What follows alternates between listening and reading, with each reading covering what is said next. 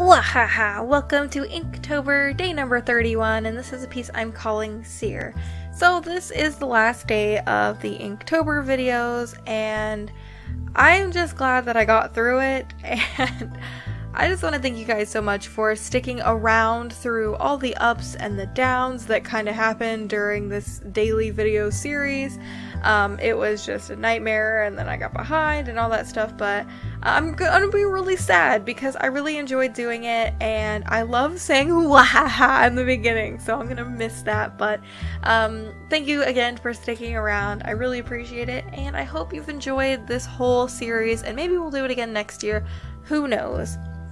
So, this piece is heavily inspired by a Netflix, it's not originally on Netflix, but I watched on Netflix show called Salem, and I really enjoyed it. It was great, and this is kind of inspired by that.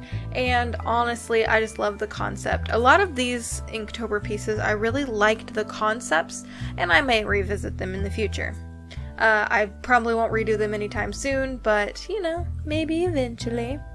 So if you want an Inktober art book, um, they are still available for pre-order and will be till November 20th.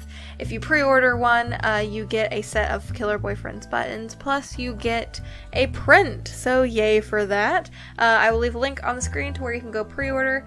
Um, I cannot wait to make them. They're going to have 24 pages of lovely, amazing Inktobery goodness, and I'm just super excited to uh, send them out. I've got a few pre-orders, and I cannot wait to send them to you guys. I'm just really excited.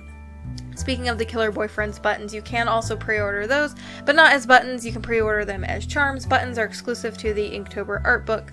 Um, if you really like scary movies and you like the killers from the scary movies, I feel like you'd be interested in these Killer Boyfriends buttons. So this piece, um, basically this lady is a seer and she is in a graveyard and she is surrounded by ravens, they plucked her eye out, but she does have an eye on both her hands. One's on the palm and one is on the back of her hand. So it's a little morbid, but um, it, like I said, it is heavily inspired from a TV series that I really liked, and I'm very sad that got canceled. But all in all, um, it was good, and I would suggest you watch it. If you like witches, uh, I would suggest you watch it. However, it's not for young people. Um, it is very uh, morbid. It is very um, gruesome, and it it's kind of different. So um, if you're under 18 or actually probably under 16, I'd say I probably wouldn't watch it. Um, but you know, if you're into that sort of stuff, yeah, I don't know. Just don't. I don't want to get you in trouble, so don't don't get in trouble. also, don't scar yourself for life. I did that and it's not fun. Anyway, that is another story for another video.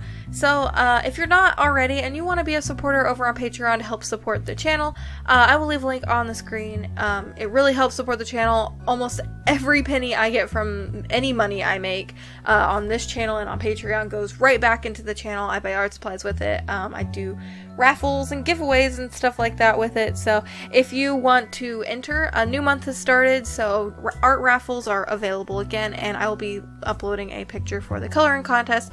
If you color it, or if you just enter the art raffle by pledging a dollar, um, then you get free art stuff, and who doesn't like free art stuff? So uh, enter that. Both of them, you only have to pledge a minimum of $1, but if you pledge more, you get better rewards. So what's not to love about that? I'd appreciate any support, and if you can't support, that's okay too, just by watching my videos. You guys support me, and it makes me really happy. And here's a look at the final piece of the final piece. Thank you guys so much for watching. If you enjoyed the Inktober series, leave a like on the video. Also, if you are already and you want to be a part of our cute little squid pod, there's a subscribe button down below. And until the next time I make a video, which probably won't be till next Monday, to toodaloo!